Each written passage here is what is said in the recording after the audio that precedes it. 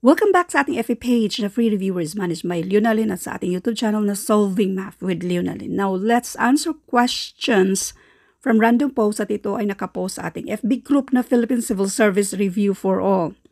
48 minutes ago pero hindi to 48 man- minutes ago na post. Ito ay mga 2 days ago yata.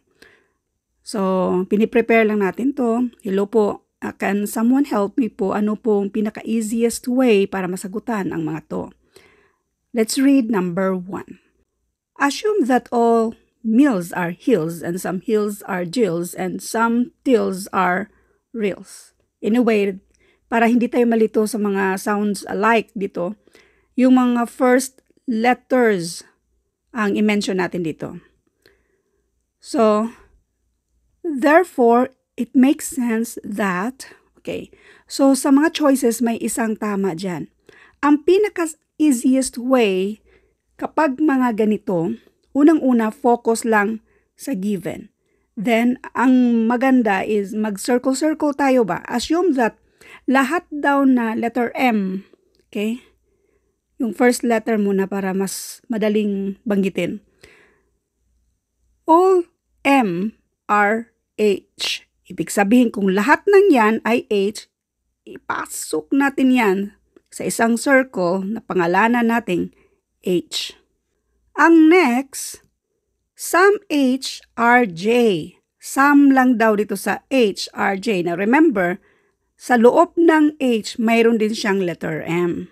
Kapag sinabing some H are J, so ganito lang siya. Some H are J. Okay. Some T are reals. Walang letter T at letter R dito. So, gagawin natin, gawa tayo ng ibang circle. Letter T ito, tapos ito naman ay letter R. Ito na yung gagawin nating sum. Ulitin natin ha. Some tills are reals. Walang letter T, walang letter R dyan. So, gawa tayo ng dalawang circle dito.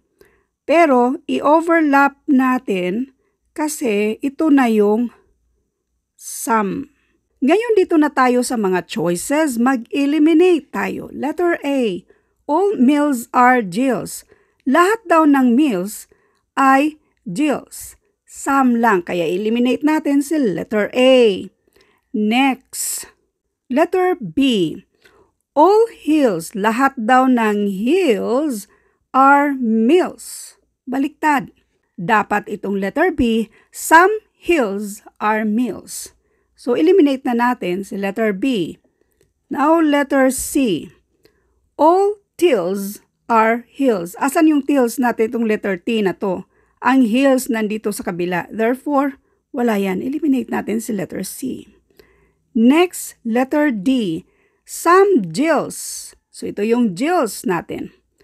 Are hills. Ito yung hills natin. Napapansin nyo? Some jills are hills. Correct yung letter D. Pansinin nyo yung dalawa, yung letter H at letter J natin, nag-overlap yan siya.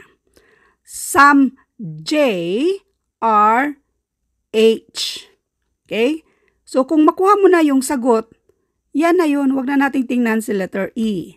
Pero to double check lang, tingnan natin si letter E. Some mills, ang letter M natin, are hills. Lahat ng mills are hills. Yang some na yan, yan yung nagpapamali dyan. So, ang sagot dito sa number 1 ay letter D. Next, number 2. Assume that, ito na naman, so yung first letter na lang ang banggitin natin. Assume that some H are K. So mag-drawing tayo, ito si H at ito naman si K. Next. All J are S. Wala yung dalawa na yan dito. So gawa tayo ng ibang circle. So itong circle J natin ay nasa loob mismo ng circle S. Ito yung ibig sabihin ng all J are S.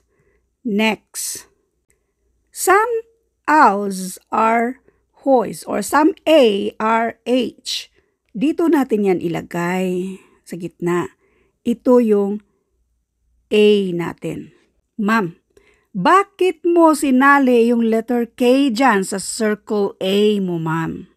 Remember na itong si H, assume that some H are K. So therefore, itong H natin nakamix dyan, meron ding letter K dyan sa H. Kapag sinabi dito sa last na statement na some A are H, so therefore, isali din natin si letter K kasi nga na-mix si letter K sa letter H. So isali natin yan dito sa circle letter A natin. Now, doon tayo sa choices. Mag-eliminate ulit tayo. Some K may also be A. Some K may also be A. Napapansin mo, meron yang overlap. So, keep natin si letter A. Tingnan muna natin si letter B. All H are K. Lahat daw ng H ay K. Some lang. So therefore, eliminate na natin si letter B. Next letter C. All J are A. Si letter J nasa kabila, si A nandito, eliminate natin si letter C.